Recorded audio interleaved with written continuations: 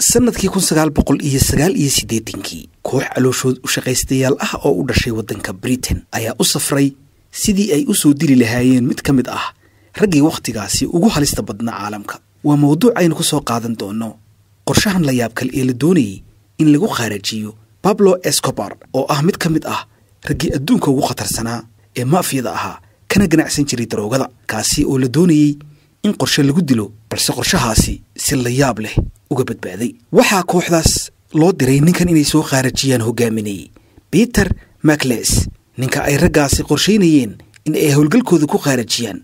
Wuxuu ahaa bablo escobar kaas oo hogaaminayey budhcadda caanka ah ee ka ganacsata daroogada ee magacooda loo yaqaano medellin kuwaasi oo ka jiray dalka colombiya wuxuu ahaa ninkani budhcadkii ugu taajirsanaa abid ee dunida soo mara waxa uu ahaa ninkii soo saari jiray daroogadii ugu badnayd ee kokayiinta ah taasi oo caalamka oo dhan loo iibgeyn jiray si qarsoodi ahna dalal fara badan laysaga gudbin jiray. Waxaanu mas'uul ka ahaa maandooriyayaasha dunida boqolkiiba siddeetan in ka badan xilligii uu noolaa. Kooxda britain ka soo jeeday ee uu hogaaminayey macles waxaa karaystay koox kale oo budhcad ah oo dagaal u dhexeeyey iyaga iyo escobar kuwaasi oo ka dhisnaa iyaguna isla waddanka colombiya filim iyo barnaamij cusub oo baadhitaan ah oo loogu magacdaray dilkii escobar ayaa ugu dambayn lagu shaaciyey in howlgalkaasi uu ahaa mid la yaab leh oo ka mid ah howlgalladii ugu cuslaa ee lagu bartilmaameedsaday mid ka mid a kooxaha maafiyada ee ka ganacsada daroogada. Waxaa kale oo barnaamijkaasi daha lagaga qaaday ninkii ka dambeeyey in uu iskudaygaasi qorshaha ahaa aanu u guulaysan sidii loogu talagalay oo ah dilka ganacsadaha daroogada ee halista ahaa waa escobar ninka filimkan cusub soo saaray oo lagu magacaabo david withney waxa uu sheegay in ninka lagu magacaabo macles uu ahaa nin aan la saadaalin karin oo uu haystay jahawareer nafsi ahi. Muuqaalka dhexdiisa waxaa laga arkayey macles oo hadda ah siddeed iyo toddobaatan sano jir waxa uu sheegay eryadan waxaa la ii tababaray in askarta dartood aan wax u dilo. Macles waxa uu sheegay in askari uu noqday isaga oo toddoba iyo toban sano jir ah si uu xal ugu helo xanaaqiisa fara badan. Markii uu yaraa waxa uu ahaa qof dhib badan oo daandaansi iyo cuqdadba u dhashay kaasi oo faduuli ahaa. Macles markii uu ciidamada ka mid noqday muddo kadib ayuu ciidankii isaga tegey. Waxa uu noqday nin marba meel ka shaqaysta oo jahawareersan. Kadib wuxuu xadgudub kula kacay gabadh uu shukaansanayey wuxuuna ku mutaystay xabsi dhowr sana ah markii la soo daayey wuxuu istusay oo arrin wanaagsan u arkay in uu aasaasto oo dhisto koox ciidan ah oo isaga u gaar ah oo calooshood u shaqaystayaal ah.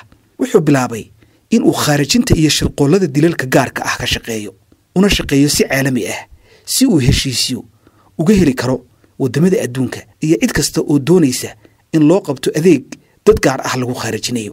Wuxuu qayb ka noqday dagaalkii sokeeye ee ka dhacay waddanka angola kadibna waddanka zimbabwe iyo south africa ayuu ka fuliyey howlgallo lacag lagu siiyey oo dad gaar ah lagu birtilmaameedsaday ugu dambaynna lagu khaarijiyey wuxuu la shaqaysan jiray askari kale oo ku xeel dheeraa sida hubka qarsoodiga ah loo safriyo oo lagu magacaabo dave tomkins labada nin waxay ku kulmeen waddanka angola oo ay isku barteen. Waxay ahaayeen laba nin oo si weyn saaxiibba u ah waxayna ka wada shaqeeyeen qorshihii dilka fashilmay ee escobar. George salcedo oo qayb ka ahaa koox budhcad ah oo ka jirtay colombiya oo lagu magacaabi jiray cali cartel wuxuu xidhiidhyo ka ahaa fulinta howlgalka dilka escobar. Wuxuu qorsheeyey in tomkins uu qorto koox awood leh oo fulisa duulaanka waxaana dhacday in ninkii howlgalkan hogaaminayay ee macles uu noqday qofkii ugu horreeyey ee la isweydiiyey kaasi oo ay raadsadeen sidii ay ugu qancin lahaayeen in uu howlgalkan hogaamiyo oo qandaraaskan qaato la iskama kaa weydiisanayo in aad qorshayso khaarajinta bablo escobar oo aad og tahay in uu yahay ninka adduunka ugu halis badan. Haddii aanad lahayn khibraddeeda sidaas waxaa yidhi macles uu mar faahfaahin ka bixinayey khaarajinta ninkaasi loo diray.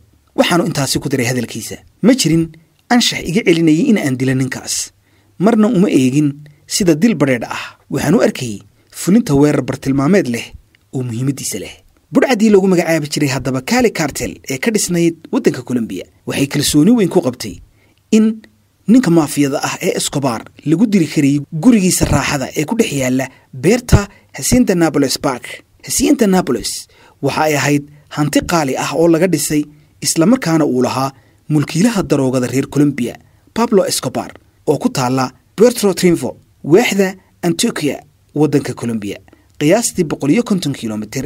Dhinaca bari waxay ka xigtaa magaalada medellin. Sidoo kale laba boqol iyo sagaal iyo afartan kilomitir ayay dhinaca waqooyi galbeed kaga beegan tahay caasimadda waddanka colombiya ee bogota. Waa dhul baaxad weyn oo beer iyo berkado lagu dabaasho oo raaxo ah laga bineeyey. Sidoo kalena ay hoteello ku yaalaan. Kadib dhimashadii escobar sannadkii kun sagaal boqol saddex iyo sagaashankii qaar badan oo ka mid ah dhismooyinkii asalka ahaa ee beertan raaxada waa la dumiyey. Halka sidoo kale qaybo ka mid ah dib loo cusboonaysiiyey oo ay wakhtigan iska leedahay xukuumadda waddanka colombiya beerta uu guriga ninkan la raadinayaa lahaa waxaa ka buuxay xayawaano kala duwan baabuur aad u badan oo qaali ah. Sidoo kale garoon diyaaradeed oo gaar ah ayaa ku dhex yaalay waxauna lahaa gidaarada loogu tala galay difaac adag inay noqdaan oo aanay xabaddu karin. Makles oo ahaa ninkii reer ingiriis ee howlgalkan hogaaminayey wuxuu diyaarad ku dul maray beertan wuxuuna sheegay in howlgalka la fulin karo oo uu yahay mid uu qaban karayo. Markii uu sahanka ahaa ayaanu sidaa yidhi qorshihii khaarajinta bablo escobar ayaa sidaa ku bilowday. Ninkii kale ee tomkins ee qorshahan isku soo dubiriday. Sidoo kalena shaqaalaysiiyey ninkan lagu magacaabo makles waxa uu qortay laba iyo toban qof oo kale oo calooshoodu shaqaystayaal ah. Waxay ka koobnaayeen dad uu hore ula soo shaqeeyey iyo kuwo lagula taliyey in uu shaqaalaysiisto oo ah rag ku takhasusay dilalka qorshaysan iyo howlgallada noocan oo kale ah ee khatarta badan. Kooxdii howlgalkan fulinaysay in ay dalka colombiya si qarsooda ah ku galaan waxaa ka caawiyey george salcedo oo ka tirsanaa budhcaddii cali cartel oo aan soo sheegnay in ay colka ahaayeen budhcadda bablo escobar. Raggaas oo dhan waxaa loo qoray midkiiba mushahar dhan shan kun oo dollar bil kasta iyo bixinta kharashaadkooda inta uu howlgalkani socday. Balse tomkins wuxuu maalin kasta isagu qaadanayay kun dollar. Filimka cusub ee laga sameeyey qisadan. Waxaa lagu soo bandhigay muuqaallo uu duubay tomkins waxaana laga arkay ragga howlgalkan loo diyaarinayay oo haystay lacag fara badan. Marka hore waxay ku sugnaayeen magaalada kaali balse si aan loo arkin darteed waxay u guureen meel buur ah oo ku taalay duleedka magaalada kaali halkaas oo loogu geeyey hub aad u fara badan. Waa buuro ay ku yaalaan kaymo jiq ahi oo aanay cidina soo hawaysan karin. Waxay ahayd xilliga ciidda krismaska wax kasta oo aan u baahnayn sida hubka waana loo keenay.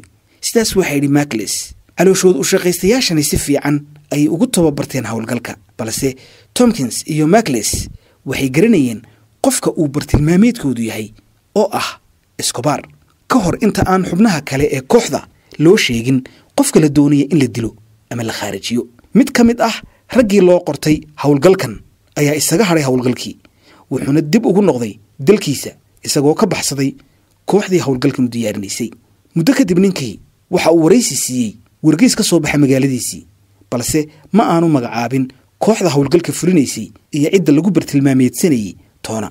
Markii uu soo dhowaaday xilligii weerarka la qaadi lahaa kooxdu waxay galeen duurka si ay u tijaabiyaan hubkooda iyo bambooyinka ay sitaan. Qorshaha weerarka waxaa ka mid ahaa laba diyaaradood oo ah kuwa qumaatiga u kacay ee helikobterska loo yaqaano kuwaasi oo ku dulduula beerta hesienda naboles oo ah beerta raaxada ee uu ku sugnaa ama deganaa bablo escobar. Xilliga ay kooxdani dhulka ka gelayaan dhismaha ujeeddadu waxay ahayd in si xoog leh lagu maro ilaalada awoodda leh ee halkaas ku sugnayd.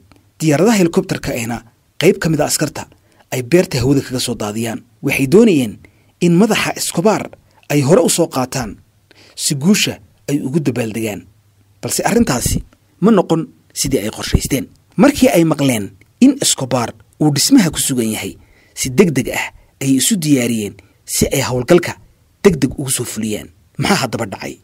Waxaa dhacday arrin lama filaan ah oo qorshaha dhibaato ku keentay. Diyaaraddii siday ee ay saarnaayeen makles iyo tomkins ayaa shil ku gashay aagga andes waxaana ku dhintay duuliyihii dadkii kale ee diyaaradda saarnaa way badbaadeen dhammaantood laakiin makles ayaa si xun u dhaawacmay waxaanay ku sugnaayeen dhul buuraley ah oo aaggii ay diyaaraddu ku dhacday ku yaalla. Ilaa saddex maalmood ayuu dhulyaal ahaa. Kadib ayaa la soo badbaadiyey. Ninkii maafiyada ahaa ee escobar sirdoonkiisii waxa ay u soo gudbiyeen in qorshe la doonayay in isaga lagu khaarajiyaa uu fashilmay. Escobar waxa uu maqlay qorshihii ku saabsanaa in la dilayo. Kadib askartiisii ayuu u diray buuralayda si ay raggaas u soo baadhaan una soo qabtaan haddii baablo uu iqaban lahaa dhibaato weyn ayay igu noqon lahayd silic iyo saxariir adduun ayaa ii dhammaan lahaa. Waxaanan hubaa in ay si aad u arxan daran oo silic ah ii dili lahaayeen. Sidaas waxa filimkan ama barnaamijkan laga diyaariyey qorshahan u sheegay ninkii howlgalka hogaaminayay makles laakiin waa uu ka badbaaday. Waxaanu wacad ku maray in aanu ku laaban doonin howlgal noocaas ah weligii dib dambe. Intii uu dhaawacnaa ee uu ku sugnaa dhulka buuralayda ah ee colombiya isaga oo dhaawacan oo aan dhaqaaqi karin waxa uu ka badbaaday kooxdii bablo ee baadhitaanka ku samaynaysay goob kasta oo ay u malaynayeen in ay ku jiraan ragga diyaaraddu la dhacday. Peter makles wakhtigan waa siddeed iyo toddobaatan sano jir wuxuu ku nool yahay waddanka ingiriiska. Waxa uu sheegay in uu wax badan ka qoomameeyo oo uu sameeyey muddadii uu dhallinyarada ahaa ee uu calooshii u shaqaystaha ahaa balse hadda uu nabad ku nool yahay oo uu ku faraxsan yahay noloshiisa wakhtiga duqnimo. Dhanka kale bablo escobar waxaa la dilay sannadkii kun sagaal boqol iyo saddex iyo sagaashankii xilli uu ka baxsanayey ciidamada waddanka colombiya oo sannadkaasi duulaan culus ku qaaday isaga iyo dhammaanba kooxaha daroogada ka ganacsan jiray. Waxaa xusid mudan in qorshahani sida aan soo sheegnay uu dhacay sannadkii kun sagaal boqol iyo sagaal iyo siddeetankii. Waa qorshihii fashilmay ee uu ku badbaaday ninkii maafiyada ahaa ee bablo escobar. Daawadayaal mawduucaanina halkaas ayuu ku dhammaaday. Qaar kale oo ka mida mawaadiicda noocan oo kale ah intaan ku kulmi doono assalaamu calaykum waraxmatullaahi wabarakaatu